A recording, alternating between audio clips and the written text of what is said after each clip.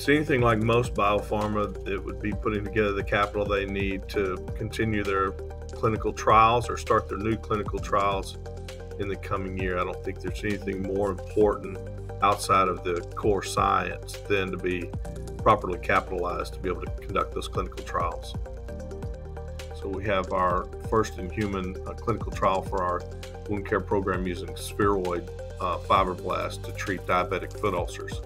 So we have a, a, nice large clinical trial starting in that area, and that is really exciting. So everything we're doing now to develop the product, um, to uh, certify the product, and to get that shipped out uh, uh, has us busy until the first of the year. But then we will start that trial after the first of the year, and uh, we should have some endpoints readouts uh, in about 12 weeks.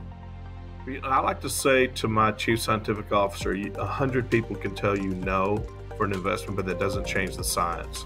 So everything starts and ends with the science. If the core of your science is solid, if you've done an internal, a rigorous internal review process of your science, if it's impeccable, if it's repeatable, then it doesn't matter how many people tell you no.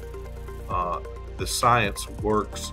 Stay in there, get the capital you need, uh, because people don't really understand what you're going through on the science. They're not at the bench, so they may not understand the science. And if it's new, like ours is, which is science that nobody's ever seen before for fibroblasts, then you have an extra hill to climb to talk to them about kind of a leap forward uh, in uh, medical treatment uh, for chronic diseases. So um, ours is based in our science, but to, to get that capital, you need uh, the, the core of it has to be a rigorous scientific process.